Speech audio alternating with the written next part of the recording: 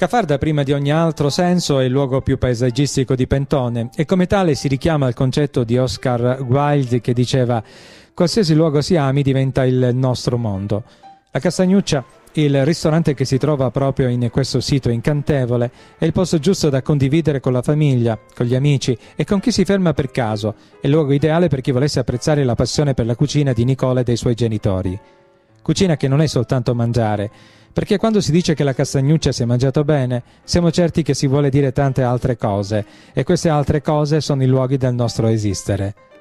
C'è il luogo di residenza, il luogo di lavoro, il luogo dei doveri, ma poi esiste anche il luogo dove vivere lontano dal quotidiano, e la castagnuccia è questo esistere, fuori dai luoghi comuni. Un tempo qui vi era una masseria appartenuta a una nobile famiglia pentonese, i discendenti la trasformarono in un piccolo ristorante attivo nei periodi estivi, vista la tipica frescura di questo posto. Ci sono stati altri gestori, ma Nicola e la sua famiglia hanno pensato bene di non intendere questo luogo come un ristorante, bensì come spazio che ha la particolare caratteristica di essere connesso a tutti gli altri spazi, in modo tale da sospendere, neutralizzare o invertire l'insieme dei rapporti umani che ci rispecchiano.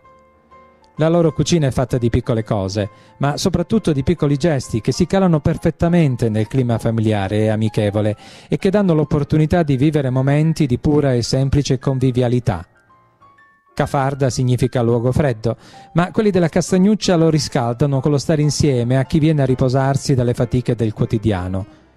Si potrebbero dire tante altre cose sulla Castagnuccia, ma le parole non potranno mai sostituirsi al piacere di passare un po' di tempo in questo luogo incontaminato e a due passi da Catanzaro. Pertanto andate a trovarli per vivere e assaporare ciò che questo luogo è e rappresenta da sempre. La particolarità di questo ristorante, oltre alla, alla location, come si dice oggi, è che si può gustare una meravigliosa cucina come la facevano i nostri nonni. Un motivo per cui chi ci sta vedendo dovrebbe venire qua in questo posto meraviglioso.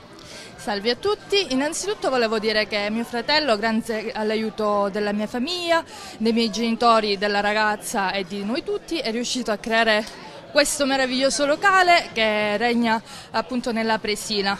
Eh, qui potete trovare la qualità, innanzitutto la pulizia, e diciamo mm, un caloroso affetto da parte dei miei familiari che sono molto ospitali verso la clientela.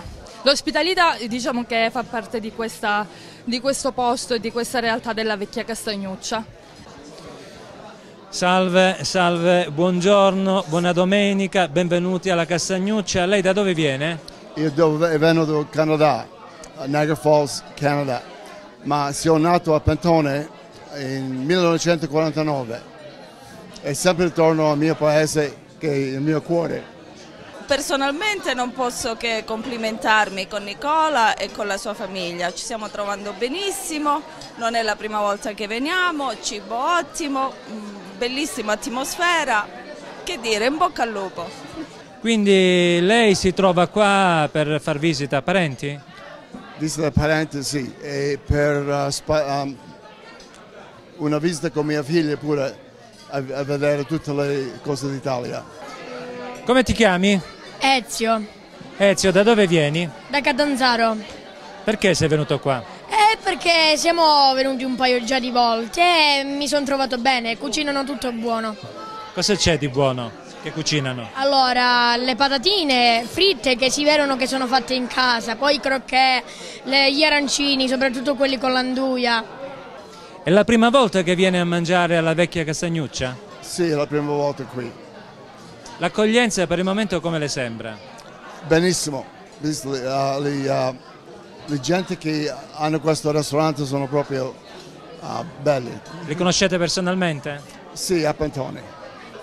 Consiglio a tutti di venire alla Castagnuccia perché è un ottimo ristorante, cucinano benissimo, eh, cucinano benissimo. Siamo alla vecchia Castagnuccia, come si mangia in questo posto? Eh, bene, molto bene, c'è roba genuina, quindi ancora siamo all'antipasto. Eh, vedo che hai già finito.